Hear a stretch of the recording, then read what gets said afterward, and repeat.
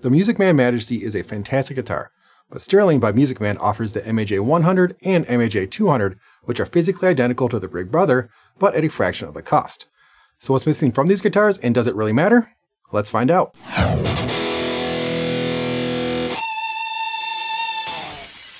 What is up everyone, Man Bun Metalhead here. The MAJ 100 and MAJ 200 guitars are made by Ernie Ball's budget-friendly brand, Sterling by Music Man. The MAJ 100 retails for $1,050 and the MAJ 200 for $1,500. No, they're not budget guitars, but compared to the Music Man Majesty, which starts at $3,800, those prices look pretty appealing. I'm not going to get into all the specifics of these guitars, but rather focus on the differences between the Music Man and the Sterling guitars, as well as the differences between the MAJ 100 and 200. Some of the similarities are obvious like the body shape, headstock, neck profile, and contouring on the body and neck joint. Because these features, the Sterling guitars play pretty much identically to the Music Man. I did do a full review of the Music Man, so make sure to check that out after you finish this video, of course. Before I go any further, big shout out to zZounds for lending me these guitars. If you're interested in picking any of them up, make sure to check out the description for the links. I have the MAJ 100 in Crimson Red and the MAJ 200 in Cerulean Paradise. The 100 also comes in Siberian Sapphire and Arctic Dream, and the 200 in Royal Red, Majestic Purple, and Blood Orange Burst. The Music Man is in Titan Blue and comes in more color options than I have time to go over. The Sterlings come with a heavily padded gig bag and the Music Man with a hardshell SKB case. One obvious difference between these guitars is the body materials and finishes, but before I get into the materials, another difference that is not so obvious is the construction of these guitars. The Music Man is neck through and the Sterling guitars are set neck, but I can't tell the difference. Looking at the neck joint, the Sterlings look identical to the Music Man. Back to the materials, the Music Man comes with a Honduran mahogany through neck, Okoume wings, flame maple shield inlay, high gloss polyester finish, ebony fretboard, and 24 medium jumbo stainless steel frets. The MAJ 100 has a mahogany body, it should be noted it is not Honduran mahogany, with a plastic carbon fiber looking shield inlay, satin finish, three-piece mahogany neck, rosewood fretboard, and 24 medium jumbo nickel frets. The MAJ 200 comes with either a mahogany or Nato body, depending on the color. This one is Nato, a quilted maple or spalted maple top, gloss finish, three-piece mahogany or Nato neck, again depending on the color, ebony fretboard, and 24 medium jumbo stainless steel frets. While the body and neck materials are different, the Sterlings certainly don't use crappy materials. The MAJ 200 using the same fretboard wood and fret material as the Music Man is a nice touch. I prefer stainless steel frets over nickel myself as they won't tarnish, like nickel will. But you can easily clean up nickel frets with some steel wool. The finish on the Music Man is better than the Sterling's. On both Sterlings you can see some bare wood in the cavities, not a huge deal, but it's there. This is not the case with the Music Man. I do prefer the look of the quilted maple on the MAJ 200 myself. I would love to see that top on the Music Man. I did ask a handful of people which guitar they thought was the most and least expensive of the three. Surprisingly, the MAJ 200 was chosen as the most expensive just as much as the Music Man, even by the vocalist and bassist in my band. So if you're worried about looks, especially on stage, worry not. The necks on these guitars are super thin and feel pretty much identical. The Sterlings have a straight 16 inch radius fretboard, whereas the Music Man has a 17 inch radius. I'm not sure why they decided to go with 16 inches instead of 17, like their big brother, but I would assume it's because 16 inch is a common radius and going to 17 inches would require new tooling, therefore increasing the cost.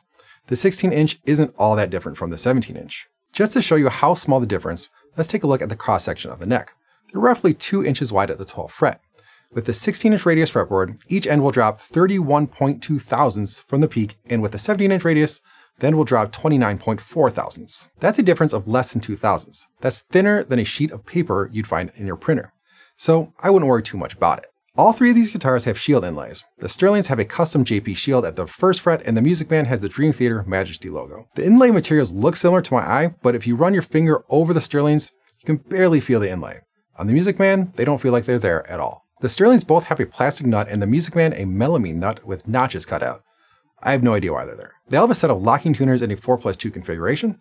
The Music Man comes with Schaller tuners, whereas the Sterlings come with no-name tuners. I feel like I can get a better grip on the Schaller locking knobs. The Sterling locking knobs slip a little, so I feel like I need to give them an extra twist. The Schaller tuning pegs have a touch more resistance than the Sterlings, making fine adjustments just a little easier. All three guitars have a floating trem. The Sterling trems look a little bare bones, while the Music Man has a nice chevron color. You can adjust the string height on each individual saddle, which is a nice added bonus. The whammy bar on the Sterlings is held in with a set screw and a rubber insert. The Music Man has a notch at the end of the bar which locks it into place. The nice part about the set screw is you can add just enough tension so the bar will stay in place and not hang down. I'm not sure if the Majesty has any such adjustment. You may have noticed that these guitars do not have locking trems or locking nuts. This can create some tuning issues. When diving with the whammy bar, the tuning is just fine. If you saw my review of the Music Man Majesty, this will sound familiar. Issues can occur when you do really big bends. When you come back, the string might sound flat. Tuning a dive on the whammy brings the strings pretty much back to the original pitch. Maybe just a little flat. Each string does have this issue, but it seems to affect the third string the worst on all three guitars. The Music Man has the same issue, but it doesn't go as far out of tune, most likely due to the better nut material.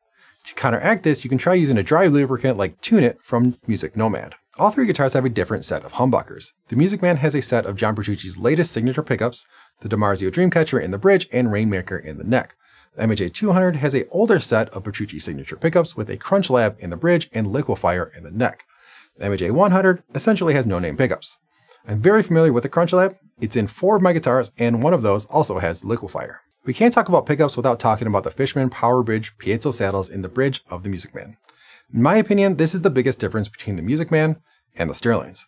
If you want more information on this system, check out my full review on the Music Man. Each guitar has a three position switch which is angled in a way that matches the direction of your hand.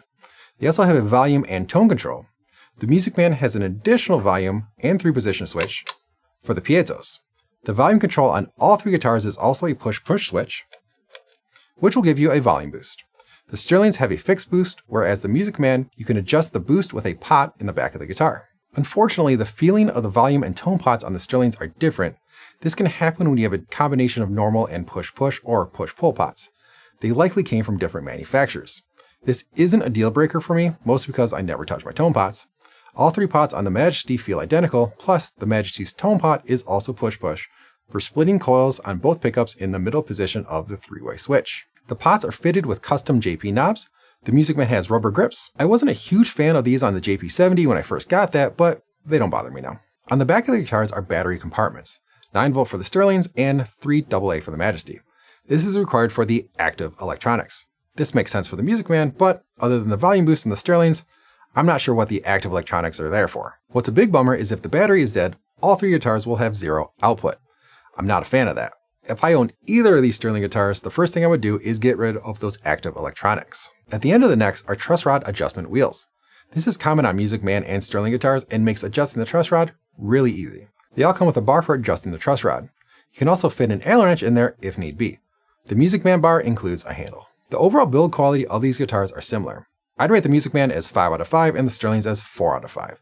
The biggest thing that stuck out to me on the Sterlings is a small indent on the back of the neck, or on the first fret. I didn't notice it until I saw light reflecting off the glossy finish of the MAJ 200. Then I checked it on the 100 and I could feel it there. Again, it's a very small indent and not something I'd even remotely notice when playing the guitar. Also, on the MAJ 100, you can feel the shield seam with your fingernail. As I mentioned early on in the video, the playability of all three guitars is pretty much identical. One small difference is with the neck radius, as I previously mentioned. I did find it interesting they have a constant radius fretboard as I normally play a 10 to 16 inch compound radius, but I actually don't mind the feel of these flatter fretboards. Another small difference is with the MAJ 100. Because of the satin finish, I prefer the feel of the neck over the two which have gloss finishes. The gloss finish can be a little sticky, but they're not that bad. I just prefer an unfinished or satin neck myself. The setup from the factory on all these guitars was pretty good. The Music Man was probably set up the best, but I did need to end up doing a slight truss rod adjustment. The MAJ 200 also needed a slight adjustment as well, but the MAJ 100 was not needed at all. The intonation on all guitars is spot on and the string heights are damn near perfect. Another quick thing to mention is the weights of these guitars.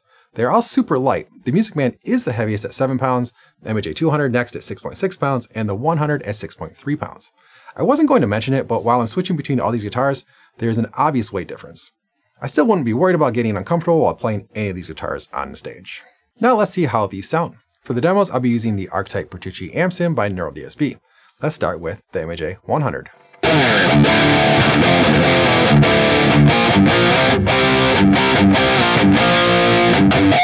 you.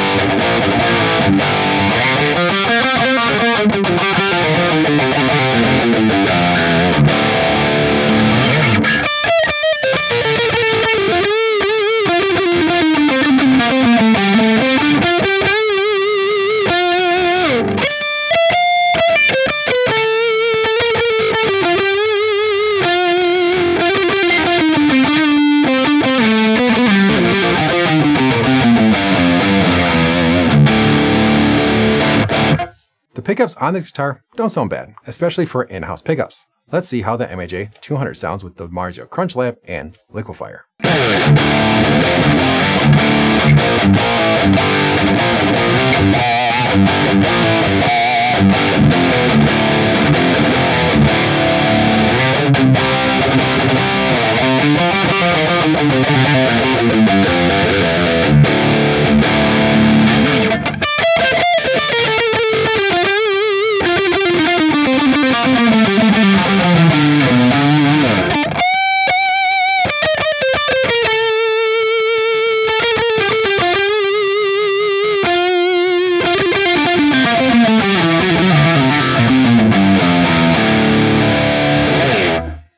MAJ200 bridge pickup is a little more crunchy and has more fullness to the sound. The neck pickup sounds cleaner and more articulate.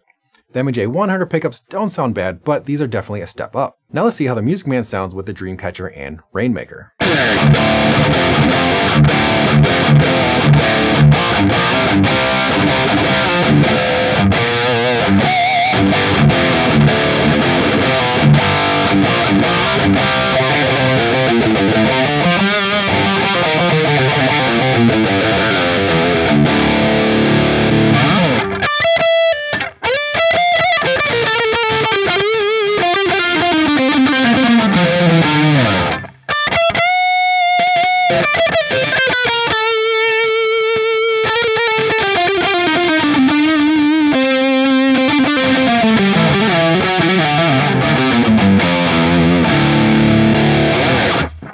bridge pickup just screams. The neck pickup is very similar to the MAJ200, but has a little more to it. It's hard to explain. Maybe you guys can hear it. Let's see how they sound clean, starting with the MAJ100.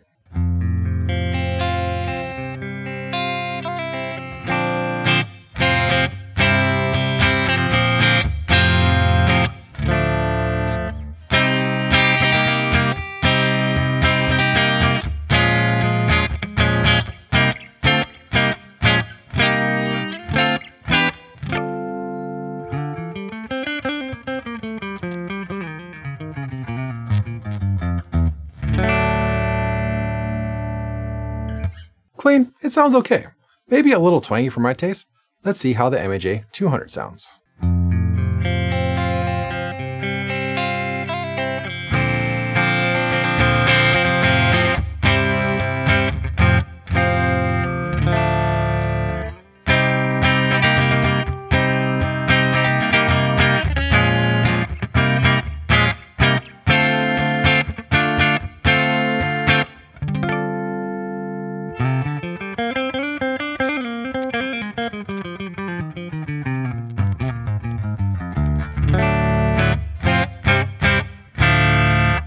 That sounds a little bit better. It has more fullness to it. Let's see how the Music Man sounds.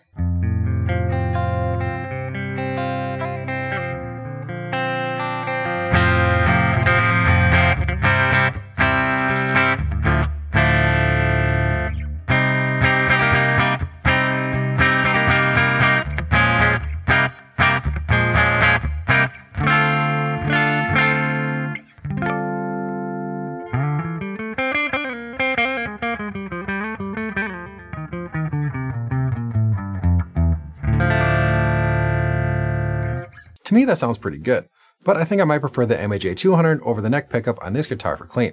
Of course, this guy has a few other options, like coil split modes in the middle position.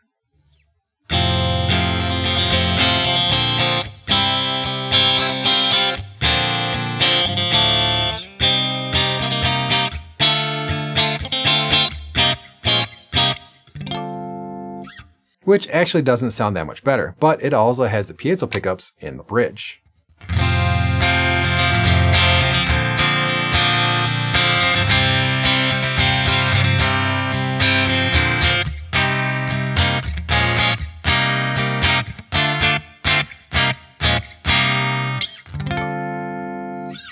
Now that sounds awesome. Because this guitar has such a strong clean sound with the piezo pickups, you really don't need to rely on the neck pickup for clean and can design it more for your lead tones. I have one guitar with a piezo bridge and I never play clean without it, usually a piezo mag mix. Overall, I prefer the sound of the Music Man the most with Petrucci's latest signature pickups as well as the piezos.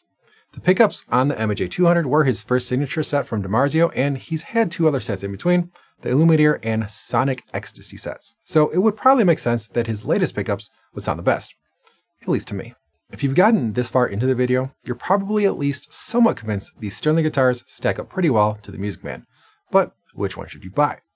First, let's see if the MAJ200 is even worth the upgrade with a higher price tag, $450 more than the MAJ100. We can roughly price out the material differences using an online custom guitar building tool.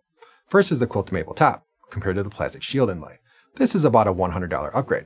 Next, the ebony fretboard material over rosewood, that'd be about $50. Stainless steel frets over nickel, $30. The pickups are easy to calculate. You can buy a CrunchLab and Liquifire set for $200. The last thing is the finish, which is a dyed gloss over satin. This would probably be about $200. Altogether, we're looking at $580 worth of upgrades for $450. Even if I was a little off on my estimates, that's still a good value. But do you want or need all these upgrades? That's up to you. What's interesting is you can get the same pickups in the Music Man for $200 as well. So if the only thing you don't like about the MAJ100 is the pickups, you can replace them with the CrunchLab Liquifire set or Dreamcatcher Rainmaker set for $200, making it a $1,250 guitar over a $1,500 MAJ200. In my opinion, that might be the way to go. The different woods and finish don't really add much other than aesthetics to the guitar. The stainless steel frets can affect the playability compared to the nickel frets on the 100, but if you clean them with steel wool every once in a while, they'll feel just like stainless steel. Plus, if you don't want any of those pickups, you can go with whatever you want. If you change the pickups in the MAJ200, it would almost feel like you're throwing away $200, unless you can get some money for selling them. Thanks again to zZounds for letting me try these guitars out, and if you want to pick one up, check out the links in the description. But hey, until next time, rock on.